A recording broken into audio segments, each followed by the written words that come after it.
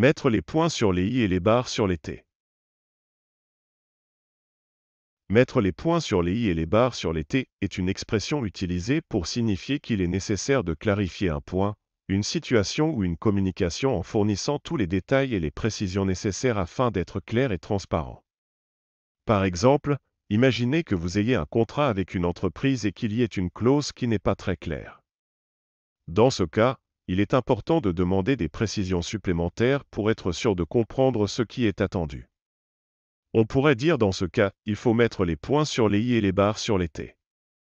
De même, dans une discussion, si les informations sont incomplètes ou pas assez précises, on peut dire Attendez, mettons les points sur les i et les barres sur les t pour être sûr de comprendre ce que vous voulez dire.